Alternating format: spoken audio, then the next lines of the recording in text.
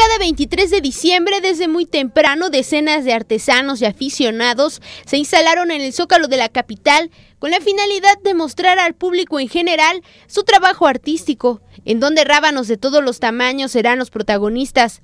Luego de que su hija participara el año pasado, el señor Heriberto Méndez Aquino narró que su primogénita fue quien lo convenció para ser partícipe en la Noche de Rábanos 2014. Fue una invitación por parte de mi hija, ya que ella participó hace un año y este quedó en el tercer lugar. Entonces le regalaron una bicicleta como premio y este me dijo papi este entra para que tengas también tú tu bicicleta entonces fue la invitación y pues a los hijos bueno se les cumple a veces eh, esos gustos, ¿no? Como forma de parte de, como valores, ¿no? Con el tema juguetes tradicionales en la categoría libre, Méndez Aquino explicó que pretende persuadir al jurado calificador y aunque expresó que no está muy seguro de obtener el triunfo, dijo que el evento será una gran experiencia. Explicó que algunas figuras fueron elaboradas en casa, actividad en la que participaron todos los integrantes de su familia. Nos invitan que el sábado vayamos a cosechar.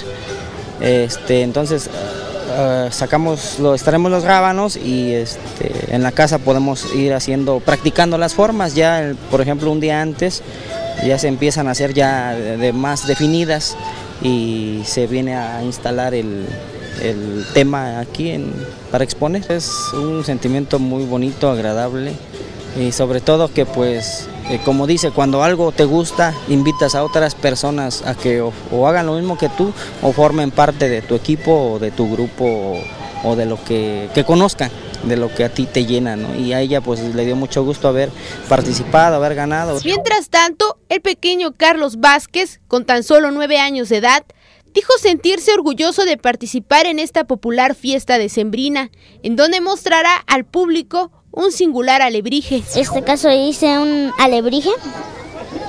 Los alebrijes son lo que hace la gente con los troncos de...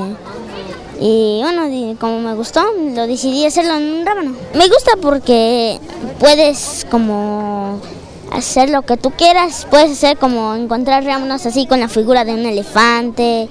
Puedes hacer, es creatividad, pues puedes encontrar como un cualquier cosa. Finalmente, Heriberto Méndez puntualizó que la fiesta de la Noche de Rábanos es una de las celebraciones más importantes del estado de Oaxaca.